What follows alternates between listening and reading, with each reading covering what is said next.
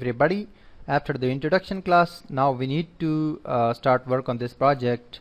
So the first thing is to understand these uh, languages and tools. Basically PHP is a server-side scripting language which we will be writing actually uh, the codes we will be writing in a text editor. And MySQL we will use as a database where we can store the information the data inside uh, database in a server and XAMPP is a software which provides us you know PHP, MySQL and Apache web servers and things like that to make a web development uh, uh, environment in our own computer. And HTML is for creating web pages, CSS is for styling things like that and JavaScript is also a programming uh, web development language. And Notepad++ Plus is a text editor. So we actually need to download XAMPP and notepad++ plus the other languages are just simply you know will be writing them. So just go to I mean your web browser whatever you use but I use uh, Google Chrome. Just write XAMPP download. Click.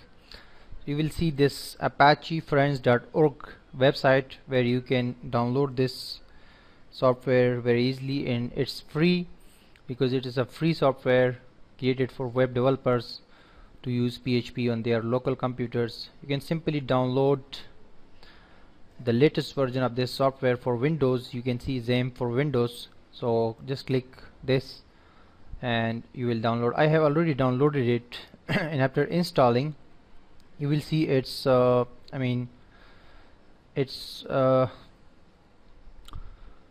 icon on your desktop. You can see over here on my desktop. So this will be here. After this downloading this go to uh, Google again and write notepad++ you will be taken to this website notepad++.org click it.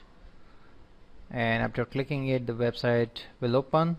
So you can simply down uh, click this download option over here.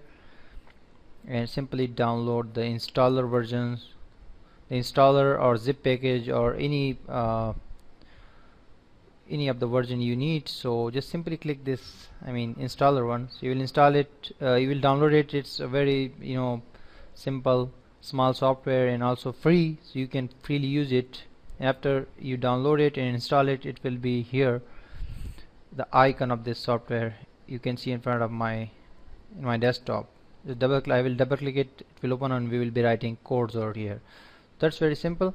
And in order to execute PHP codes or in order to write PHP codes or uh, use MySQL database in your local computer because this is our local computer so after we create after we create this uh, I mean this whole project that is in front of you we will then upload it to online web server. We will test it there. We will uh, work on online server as well. But before uploading it to online server we need to test it and check it again and again on our local server. So therefore we need to download and install the XAMPP control panel and also notepad++ is a text editor after you install the XAMPP control panel just click double click it. And whenever you want to run your PHP course you need to uh, you know activate or enable it your computer and Apache uh, is a server basically a web server. And MySQL is a database. So if you if you are using these two tools then they must be enabled here. So that's it. After notepad and uh, this XAMPP software are uh, able so we can start work on this project. This whole thing we are going to create. But uh, next video I will be explaining you about the whole structure of this project stay tuned